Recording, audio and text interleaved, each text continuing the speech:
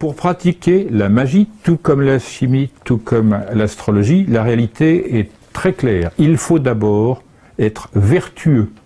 C'est-à-dire, il faut au minimum connaître ses, désirs secrets, désirs de pouvoir, de machin, tout ça, il faut les effacer. Parce qu'il n'y a rien de pire que cela. Le, désir de pouvoir fait faire toutes les sottises qui soient. N'est-ce pas? Et donc, c'est bien de cela. Il faut se connaître. Parce que tous les arts hermétiques sont liés à cette fameuse phrase en grec gnotis auton et en français connais-toi toi-même. Nous sommes bien d'accord, c'est ce cadre-là ça n'est pas autre chose que si tu connais ton voisin, tu es savant, si tu te connais toi-même, tu es sage. La nuance vaut d'être euh, notée parce que qu'est-ce que la sagesse?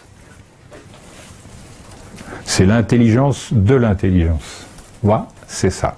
Pourquoi Parce que le cadre dans lequel on travaille est toujours orienté vers le même sujet, la conservation de la vie, son amélioration en qualité et en durée.